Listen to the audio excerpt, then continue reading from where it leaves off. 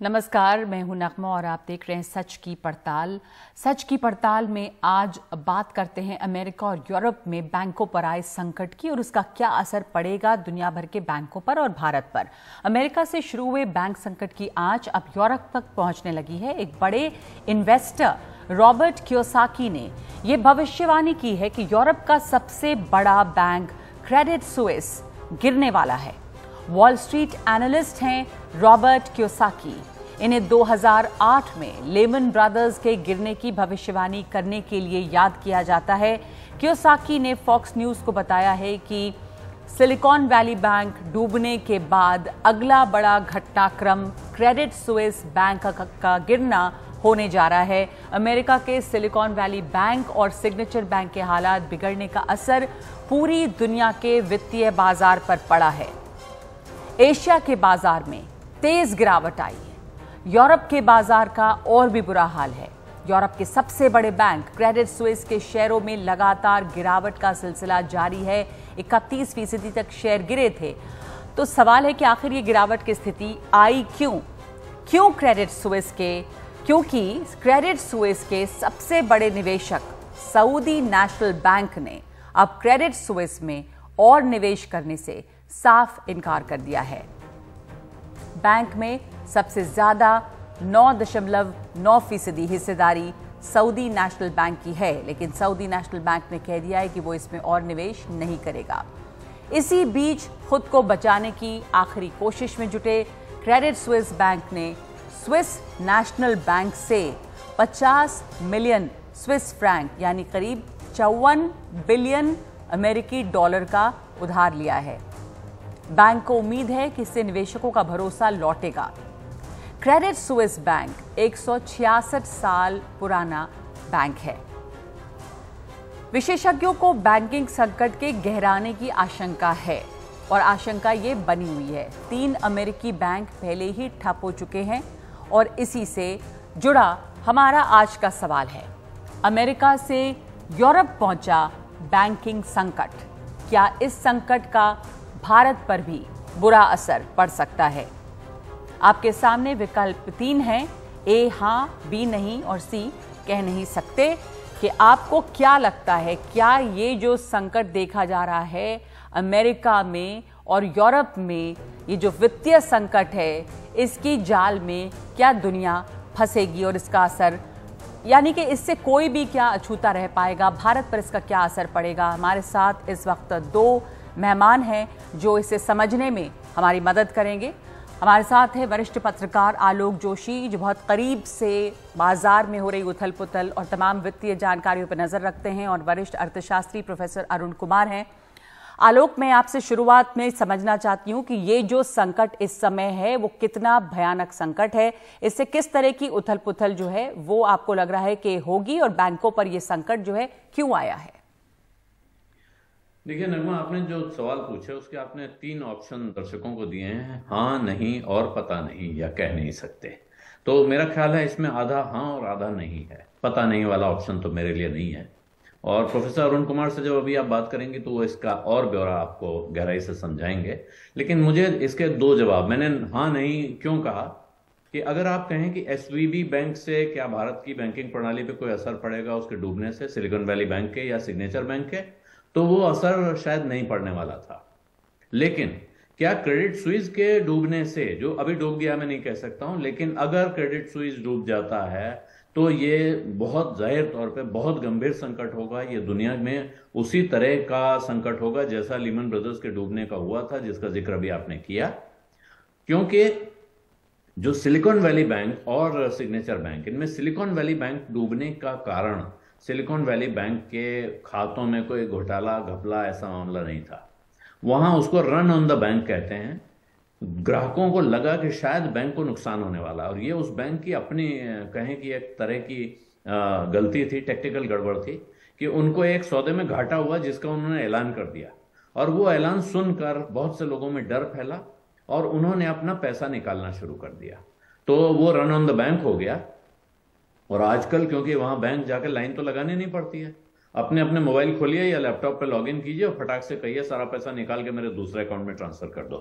तो ये अचानक बहुत भयानक मात्रा में पैसा निकलने की वजह से वो बैंक मुसीबत में आ गया। जबकि क्रेडिट स्विस का मामला कुछ अलग है। यहाँ ऑडिटर्स ने उनकी उनके खातों में उनके काम करने के तौर तरीकों पर गंभीर सवाल उठाए हुए थे। बैंक का मैनेजमेंट इसको बता नहीं रहा था। और अभी पिछले साल में 2022 में उनको घाटा हुआ है, जो उनके पिछले 10 साल के मुनाफे को बराबर कर गया है या उसने लिप दिया है कह सकते हैं। तो वो, और उसके बाद वहाँ एक मुसीबत यह है कि वहाँ का जो बैंकिंग का कारोबार है, वो बहुत बोनस के भरोसे चलता है। वहाँ जो नौ, जो बड़े मैनेजमेंट के प्रोफेशनल्स हैं, इनको तनख्वाह बहुत कम और बोनस बहुत ज़्यादा मिलता है। तो वो अपना बोनस बढ़ाने के चक्कर में उनका एक तो उनका अपना इंडिविजुअल परफॉर्मेंस बोनस होता है। जी। और दूसरा एक पूरी कंपनी का बोनस पूल होता है। हम्म। जिस पूल से अगर कंपनी को ज़बरदस्त मुनाफा हो तो उनको फ़ायदा मिलता है। तो इनको ये उम्मीद थी इस बार उनका बोनस पूल बुरी तरह गिरा हुआ है। और उम्मीद ये थी कि अगर कंपनी के शेयर सत्तर परसेंट बढ़ जाए तो उनका बोनस वापस आ सकता है उनकी रिकवरी हो सकती है। लेकिन एसवीबी से हुआ यह है कि एसवीबी की वजह से यहाँ कुछ आशंकाएँ पैदा हुई। उसके बाद दुनिया भर में हो रही हैं। भारत में, जहाँ के बारे में कहा जा रहा है कि यहाँ बैंकिंग सेक्टर काफ़ी रेगुलेटेड और मज़बूत है। उसके बारे में भी सवाल उठ रहे हैं। लेकिन क्रेडिट स्विज में ज़्यादा सवाल उठे और फिर वहाँ जो घोटाला खुलना शुरू हुआ कि बोनस के चक्कर में उनके मैनेजर्स ने तमाम जगह कहाँ कहाँ अनाप शनाप लोन बांट रखे हैं अपनी परफॉर्मेंस दिखाने के लिए। वो असर अब दिखाई पड़ रहा है तो वहाँ एक सिस्टमिक समस्या है सिस्टमिक प्रॉब्लम है क्रेडिट स्विस में। हालाँकि स्विस सेंट्रल बैंक ने कहा कि हम मदद करेंगे लेकिन। स्विस सेंट्रल बैंक किसी बैंक की किस, किस हद तक मदद कर सकता हम्म। है तो आलोक जबकि वो छोटा मोटा बैंक ना हो। आलोक में यही भारत में उसके 200 बिलियन डॉलर के एसेट्स हैं आलोक। इस बैंक के। जी, जी। आलोक ये मैं आपने स्विस नेशनल बैंक की बात की तो उम्मीद ये अगर ये करना सही है क्या कि अगर स्विस नेशनल बैंक मदद करता है। तो कोई उम्मीद बची है क्रेडिट स्विस के लिए या जैसे क्योसाकी कह रहे हैं कि नहीं इस बैंक का गिरना तय है।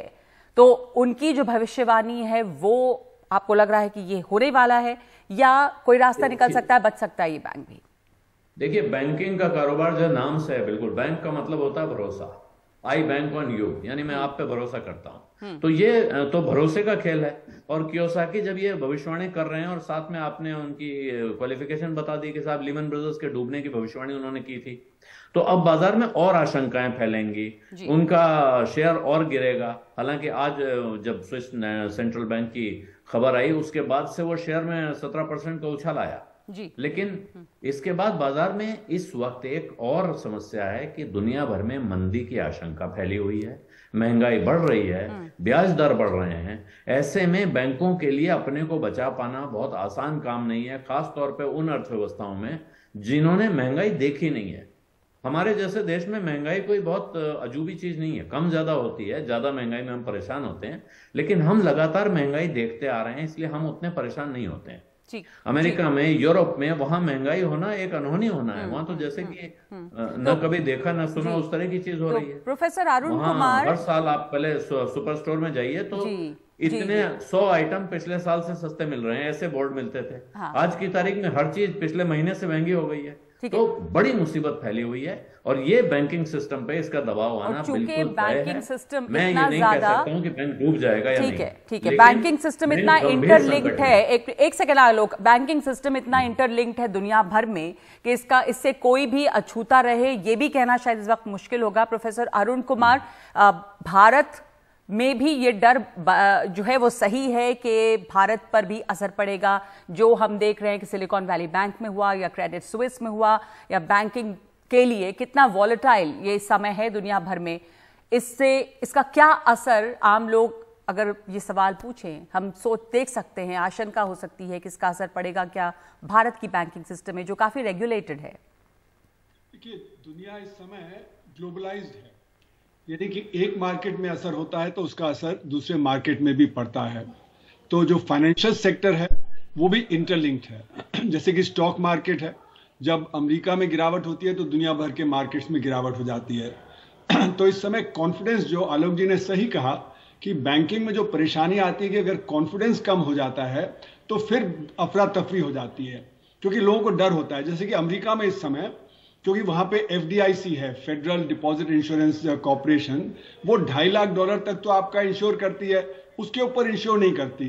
तो मैंने सुना है कि पिछले दो तीन दिनों में बहुत सारे लोगों ने, जिनका पैसा ज़्यादा था, उन्होंने छोटे छोटे बैंकों से पैसा निकाल के बड़े बैंकों में डालना शुरू कर दिया है।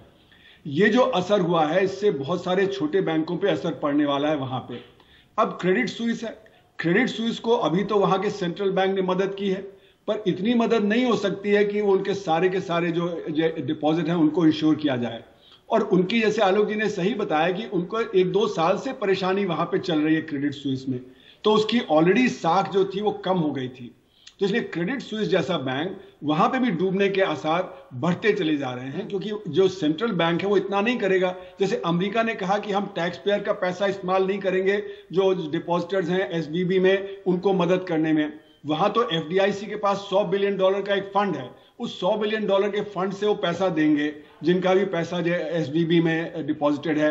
पर अगर और छोटे बैंक भी जब कोलैप्स करते हैं तो वहाँ पे इतने पैसा नहीं होगा।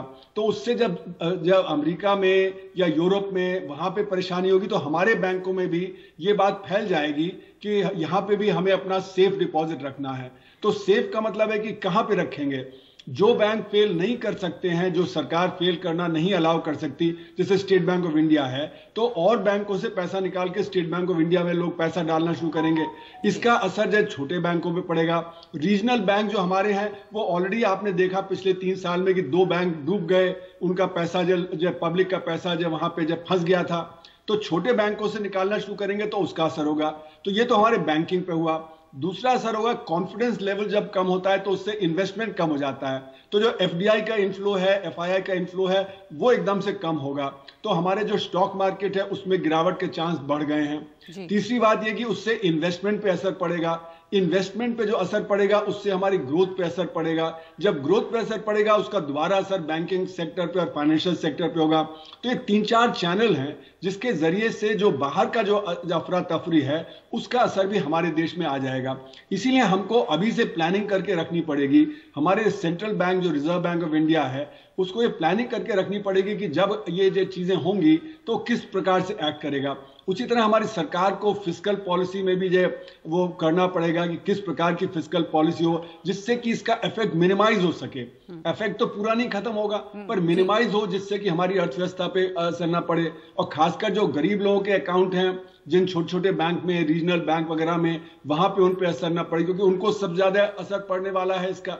तो ये सारी चीज़ें अभी से तैयारी करके रखनी पड़ेंगी। जी। तो आप बिल्कुल सही कह रहे हैं आप कि चूँकि बैंकिंग सिस्टम इतना ज़्यादा इंटरलिंक्ड है दुनिया भर में कि असर ना हो ये हो नहीं सकता। लेकिन हाँ इस असर को कैसे कम किया जा सके इसके लिए कम से कम जो इमर्जिंग मार्केट है या भारत जैसे देश हैं जहाँ पर बैंकिंग सिस्टम में रेगुलेशन काफ़ी है वहाँ देखना होगा कि किस तरह के कदम उठाएँगे हम ताकि इस असर को आ, लोगों पर जो बुरा असर पड़ेगा उसको हम कम से कम कर सके। धन्यवाद आपका प्रोफेसर अरुण कुमार और आलोक जोशी हमारे साथ जुड़ने के लिए। समझाने के लिए कि जो अमेरिका और यूरोप के बैंकों में हो रहा है उसका क्या असर यहाँ पड़ सकता है भारत में और दुनिया की जो अर्थव्यवस्था है, उस पर क्या असर इसका पड़ रहा है? तो इस वक्त एक ब्रेक लेंगे हम और उसके बाद सच का मीटर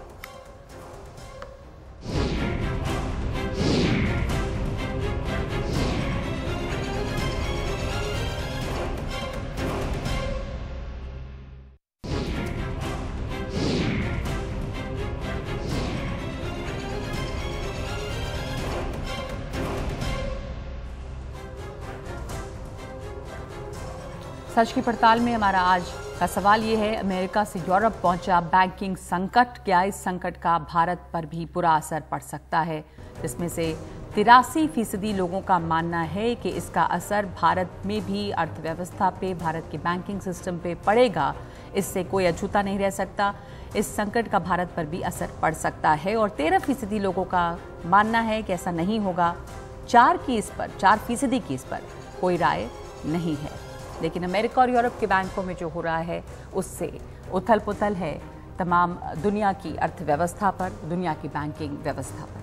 आज सच्ची पड़ताल में इतना ही, नमस्कार।